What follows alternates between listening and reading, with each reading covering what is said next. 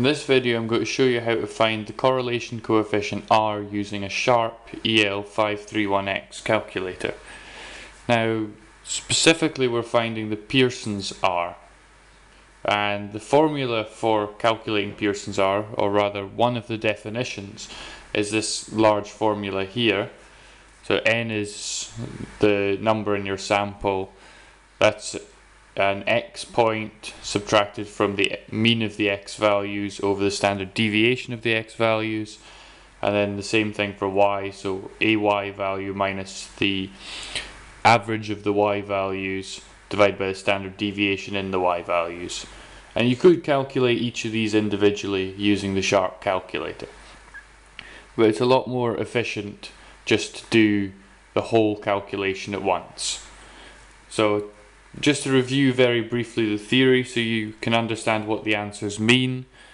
Uh, if you've got a line sloping down the way and the line goes through every point, your value of r is going to be minus 1. If you've got a line going up the way with every single point on the line, you're going to get r equal to 1. If you've got uh, a rough line that is a good representation of the data, so it is showing a correlation, then you're going to get a value of r that's greater than 0 and less than 1, or in other words, it's going to be somewhere between 0 and 1. Maybe this line might be a half or something around that. If you've just got completely random data, then clearly there's not going to be a correlation. So you're going to get an r of 0, which means it's not correlated. So let's look at doing this calculation on the calculator and it's not difficult. So here's the calculator.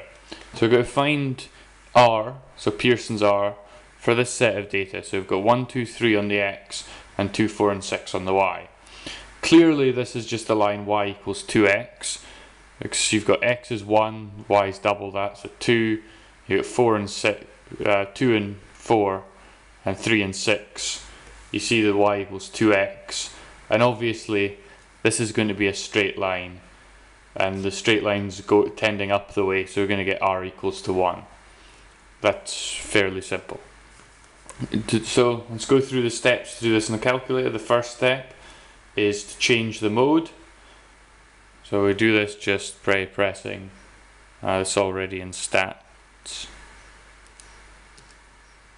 So to get into the stat mode we're pressing mode then 1 and then we'll press 1 again for the line function. So mode 1 1 gets this in the correct mode. And when you, if you want to get out of this, you just press mode and 0 and that takes you back to the normal mode. So now let's enter the data. So for example, we'd press 1 and then we need to get a comma.